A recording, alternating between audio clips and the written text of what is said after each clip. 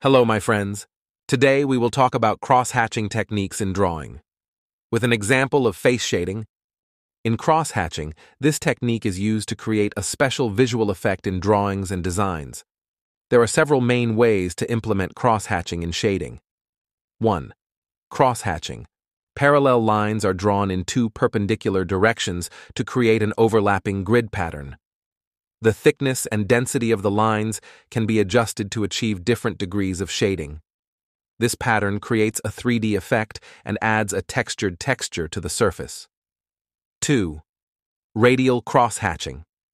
Intersecting lines are drawn radially from a central point.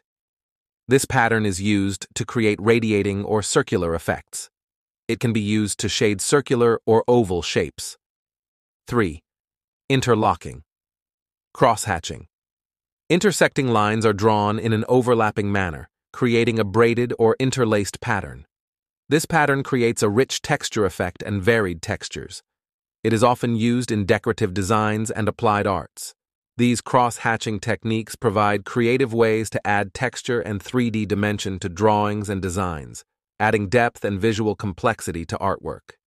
Density and direction control. The density and orientation of the hatching lines can be adjusted to control the intensity and direction of the shading.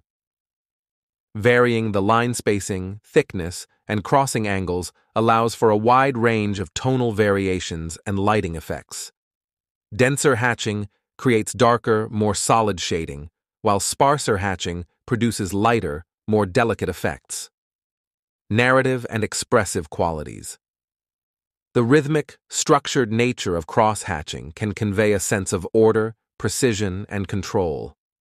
Variations in the hatching patterns and line quality can also be used to evoke different moods, emotions, or narrative themes. Cross-hatching is often used in editorial illustrations, comic book art, and technical drawings to add depth, texture, and visual interest to the compositions. Cross-hatching remains a versatile and widely used technique in the visual arts, blending technical precision with creative expression. Its ability to create rich, textural effects and convey a sense of depth and materiality continues to make it a valuable tool in the artist's and designer's toolkit. Follow the video until the end. I would be happy to know your opinion in the comments, answer your questions, and know your suggestions.